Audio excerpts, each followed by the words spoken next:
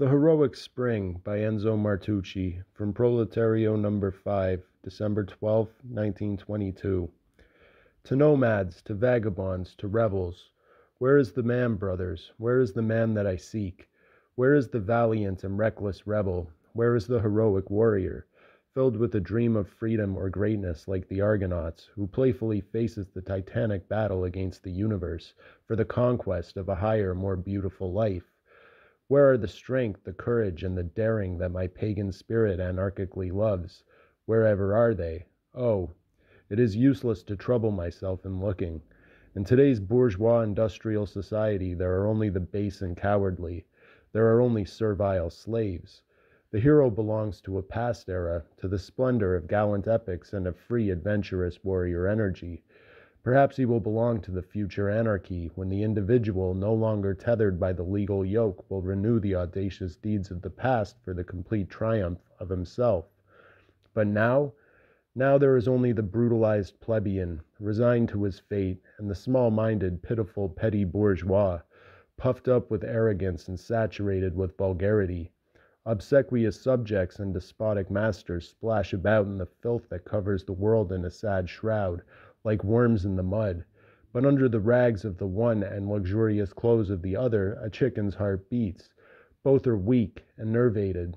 Thus the proletarian isn't able to emancipate himself, as the tyrant rules not by virtue of his own force, but only through the passivity and renunciation of the people. Today there is only litter, mud, dung. The pirates have disappeared from the oceans. The bandits have disappeared from the forests. The virile instincts and vigorous feeling of humanity, distant memories. The hero is dead. Flowering oasis in the sad desert of human putridity, blossoming roses amidst the stinking fetor of the sewer, we nomads, vagabonds, rebels will produce the divine miracle. We, we will revive the hero. Banned from society and damned by the oblivious crowd, we preserve in the fragrant garden of our hearts a gentle nightingale that sings melodious songs of nostalgia and sorrow. Tempered by struggle and arduous peril, we host in the cavernous twists and turns of our minds a red demon, always ready to go wild with irresistible force. And when the nightingale warbles, the demon leaps onto the blood-stained battlefield where the Furies dance the macabre round dance of destruction and the waltz of death. We are the poets of negation and revolt, the singers and authors of ever more sublime madness, and the fiery craters of our inner volcanoes made with the lava of emotion and the fire of passion. We fed our lust for life, and a society that wanted to impose its laws and its morals on us, we will firmly respond with our no, while the others re- repeat their cowardly yes. Now we are at the mercy of the battle, the decisive mortal battle, with smiles on our lips, we have leapt into the abyss of supreme adventure, at the bottom of which the nymph and the harpy wait for us, either the intoxication of triumph and liberation from every shackle, or the glorious end in the whirl of war. Proud and disdainful, we have valiantly played our last card, and it is therefore necessary for us to intensify our effort and increase our energy a hundredfold to achieve victory. We have already been brave fighters. Now we must become heroes. It is necessary, indispensable.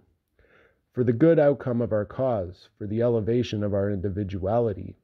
And toward anarchy, matrix of liberty, fount of joy, treasury of power, we, children of pride and eternal rebellion, will go forward with greater energy and force toward the anarchy that is not the dream of pietists, not the goal of the weak, but the means with which intrepid and desperate iconoclasts are able to get rid of even the harshest chain. We will all march on while the blue river of courage overflows from the deeps and the mad wind of audacity batters us with wild fury in the thick of battle. And we will fire our arrows, honed with hatred against the strongholds of the law and of society, and we will embrace freedom on Christ's desecrated altars. Hypocrites and cowards will fear us. The rabble will shout for our heads without thinking.